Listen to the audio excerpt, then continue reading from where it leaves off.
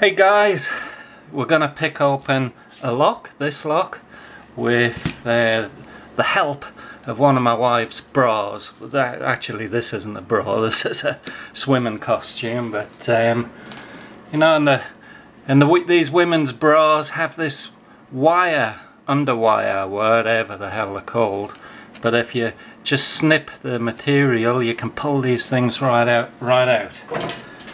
So of course you get two two bits of I don't know what it is feels like spring steel feels like pretty good stuff actually. Let's see if we can pick a lock with it.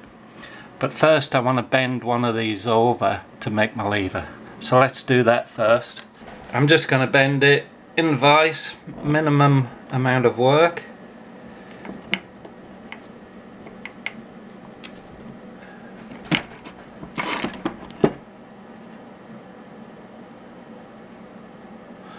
So there you go, there's a there's a bend in there. I'm not getting too technical with all this malarkey. Just a quick silly video. Alright, so here's a master lock. It's a pretty new lock. Alright, let's lock it up. There's a bitting on the key. Yeah, not fantastic bitting, but um, but there you go. That's what I got. So We'll use the one we just bent over as the lever. Okay, let's get a little lever in there. Alright, and just, I'm not doing anything with this, this is just going in and I'm gonna try and unlock. Let's see how we get on. I mean, it, whoa, look at that.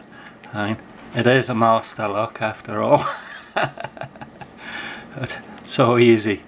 So for all you women out there if you need to pop pop a master lock just whip your bra off and, and take these out and you've got a ready-made pick set. Alright that's it. Just a silly little video. Thanks for watching. Catch you later. Let's try again. A little close-up. Alright lever in lift it with my finger just because to get the camera in. Alright and let's insert our magical pick. Go on get in there.